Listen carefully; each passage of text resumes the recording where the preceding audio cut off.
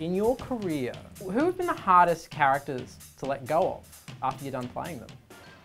Oh gosh. Um, Just easy questions first. no, just yeah. easy Yeah. questions. Um, Eowyn in Lord of the Rings was hard to let go of in some ways because it was such an overwhelming experience, the whole thing. So that kind of state, and I was sort of in on it for such a long period of time that I, I sort of didn't want to let it go on some way.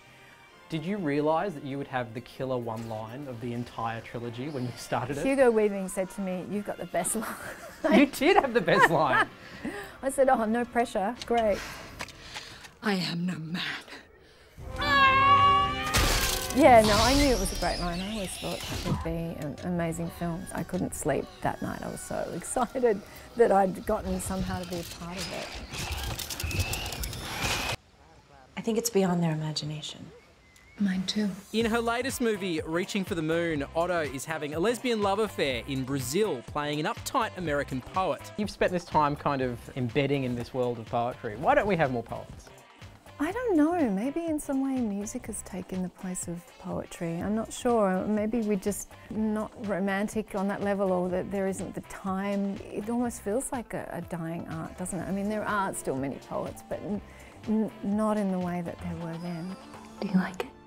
Recently, you've come back from the States where you've done the, the American version of Rake, and I've noticed a lot of very high caliber actors like yourself have been moving more into television. Is that uh, a lifestyle choice? Is it a reliability of income choice? What, what are the sorts of things motivating that move? There's a little bit that's a lifestyle choice, and it's nice to go to work in the same place and be with the same people and build relationships. But really, it's about the writing. The writing in television is is so great at the moment, and that kind of writing, that what I would call kind of adult writing, is is harder to find in cinema these days. It's become so much about blockbusters and huge. 100 million, 200 million dollar movies with lots of effects and that kind of thing. It's all geared towards 15 year old boys in the Midwest of America. Yeah, I was told that when we did Lord of the Rings. They were like, oh, it's really important what 13 year old boys in the Midwest of America think. It's like, really? Is it really that important what they think? But yeah, um, But, but you, I mean, you have made your, your fair share of blockbusters. You were in War of the Worlds as Yeah. well. Tom Cruise is one of those characters who looms very large in popular culture. A lot of people have conceptions about what it's like to work with somebody like that. From a first hand experience, what is the reality compared to what's out there in popular culture? he is an incredibly charismatic person because his energy level is just like way above anybody I think I've ever met. Who, can, who has that amount of energy in a day? I don't know. It's like everyone has energy, but it's dissipated in different directions. Hmm. And with his energy, he just like fo- focuses everything in on you on that moment, and it's kind of gobsmacking. Is that a little bit intense? It is. It's very Seems intense. intense. It's very intense. Yeah. And can he sustain that? Like, or, or what He impact does can that seems around? to be able to sustain it all day. I know you wonder with people like that. Do they go home and just go? Are you okay? The daughter of actor Barry Otto and married to actor Peter O'Brien, performing very much seems to be the family business. You've got a daughter, don't you? Yeah. What would you do if she decided to move into uh, into the family business, as it were? Well, she did ask me recently about getting an agent. So Oh no, really? And, and, and what was your response? I said, okay, okay. I've got the best connections in the business. Why not? I guess she could try it and see how she really likes it. You seem Um, I'd be very protective about what I would let her do.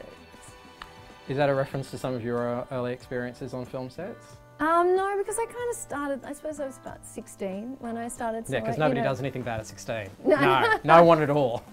Well, I was reasonably grown up at 16, so it wasn't so bad. But I, I do, you know, it is harder for kids to, you know, keep them from hearing stuff and all that. If you could go back and give 16 year old Miranda Otto advice on her first film, mm. what would you say to her?